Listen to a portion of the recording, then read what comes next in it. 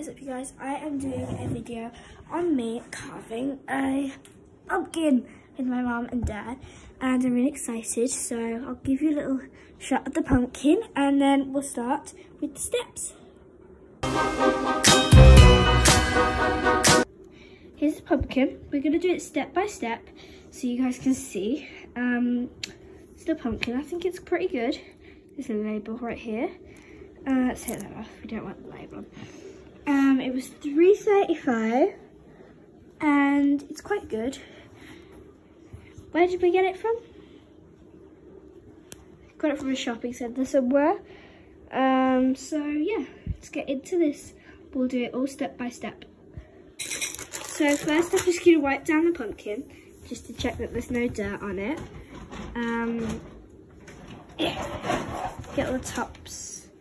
It does look a lot shinier because I'm wiping it with a wet wipe. Um, I'm just wiping it to make sure there's no dirt that can come off quickly and easily. Um, do the back bit as well. So that's the dirt that came off the pumpkin, which is quite good. So I've got a bit of dirt off. And now we can start carving. So I put the pumpkin upside down into a bowl with the stem in the bowl to protect the stem. And then we're going to cut off the bottom and we're going to, yeah, then we're going to take all the stuff out and make a pumpkin carved. So just while my mum and dad are cutting the thing, it's a bit dangerous for me.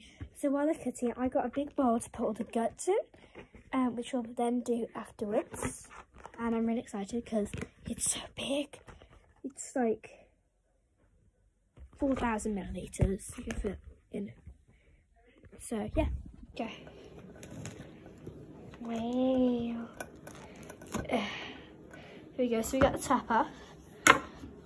And now I just have to get all the guts out. So I'm going to use a big spoon to get all the guts out, so yeah.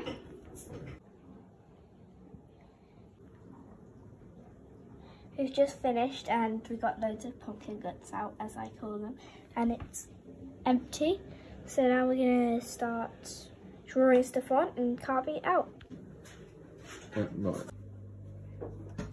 So done the, my dad just drawn the owl outline, the hearts. This is what we're trying to make it look like.